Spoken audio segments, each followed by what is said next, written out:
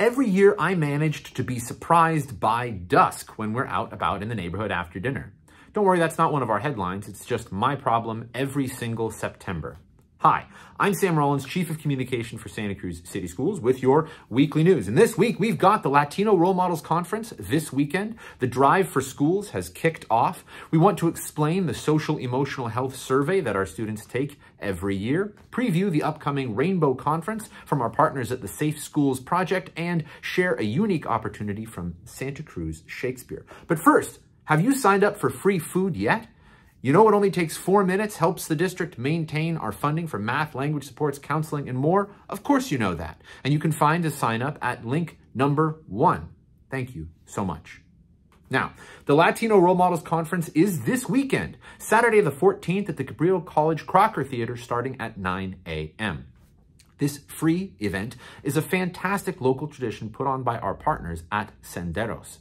It's a celebration of success and possibility where students and families can be inspired and empowered together. You can learn more at link number two. And if you need a ride, you can have a look at the bus schedule we've put below because the school district would love to take you there. Did you know about the Drive for Schools? This is a county-wide fundraiser sponsored by the Boardwalk, who secures prizes for a big raffle to raise funds for your school. There's an award for the classrooms and the schools that sell the most tickets, and you could win anything from a bagelry gift card to $25,000 in cash if you participate. Please look for messages and envelopes from your school to take part in the Drive for Schools. And you can always learn more at link number. We are currently engaged in the social emotional health survey that our students take every year, and we want you to know more about it. This survey, organized in partnership with UC Santa Barbara, is taken by kids in grades 3 through 12 and helps us understand the needs and social emotional developmental state of our students.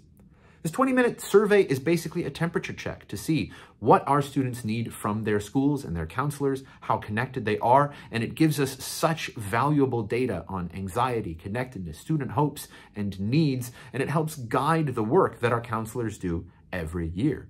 Trends and needs are discussed with teachers and staff so they can all make plans on how best to support students. And sometimes it helps us identify a student who's struggling with something that can't easily be seen otherwise. Mental health is paramount in a kid's development and in their success, and so this is one of the ways that we better understand it among our students. Feel free to email me any questions you have. My email is down below. In a couple of weeks, the Safe Schools Project will host a rainbow conference for LGBTQ plus middle and high school students. Uh, featuring workshops, a community resource fair, and connection with breakfast, snacks, and lunch provided. It will be on Saturday, September 28th from 9 a.m. until 2 p.m. at Watsonville High School. You can learn more and register at link number four. We've also received a casting call. Santa Cruz Shakespeare is looking for child actors to perform in their winter show, A Christmas Carol.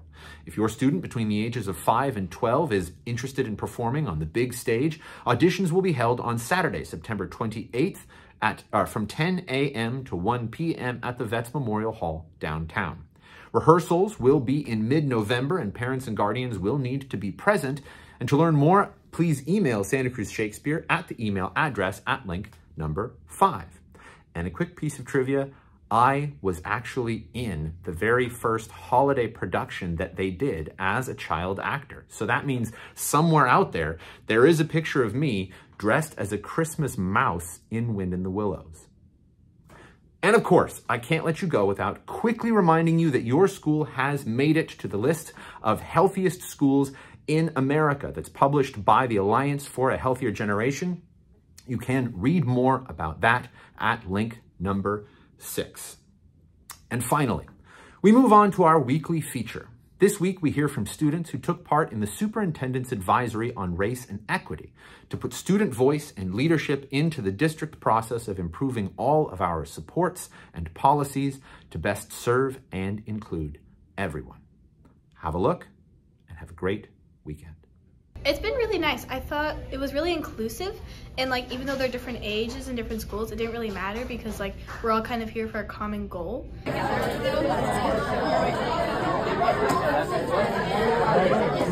It was really exciting and it was really inspiring hearing the younger generation and middle school students speak up about how they felt. Stuff like this just helps build a community and I just want to help make it better for other people. I really liked it. There were a lot of things that people contributed to the conversation that I would have never thought of before, and that's what I really liked about it. It's been my honor to serve as superintendent of Santa Cruz City Schools for 11 years, and what that means is I'm the lead teacher, and it's my job to remove all the obstacles for the school sites.